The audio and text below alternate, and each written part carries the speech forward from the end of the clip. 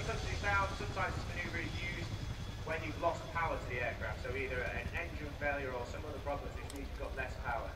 You can actually use approximately about 25 to 30% of your overall power to stop the aircraft